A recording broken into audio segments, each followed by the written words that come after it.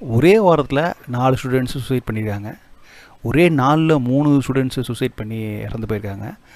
So இன்றைக்கி இன்றைக்கி நிலைமையில் நீட் வந்து ரொம்ப ரொம்ப மக்களை உலுக்கி எடுக்கிற ஒரு பிரச்சனை.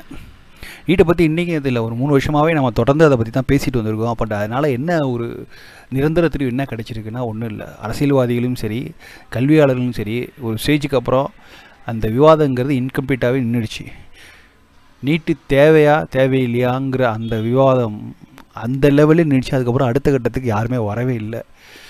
இப்போ நீட்டுக்கு எக்ஸப்ஷனுங்கிறது இன்னை லெவலுக்கு அது வந்து செய்யக்கூடியது பாசிபிள் ஆனால் நிரந்தர தீர்வுங்கிறது எந்த அளவுக்கு கிடைக்குங்கிறலாம் யாருக்கும் தெரியல. நாங்கள் ஆட்சிக்கு வந்தால் எட்டு மாதத்துக்குள்ளே நீட் தேர்வு நீட்டுக்கு வந்து ஒரு நீட்டுக்கு ஒரு நல்ல நிரந்தர தீர்வு தர முடியுங்கிற மாதிரி திமுக அறிவித்திருக்கிறது. ஆனால் அது என்ன செய்ய போகிறாங்க எப்படி செய்ய போகிறாங்கிறதுக்கான ஒரு கிளாரிட்டியும் இல்லை.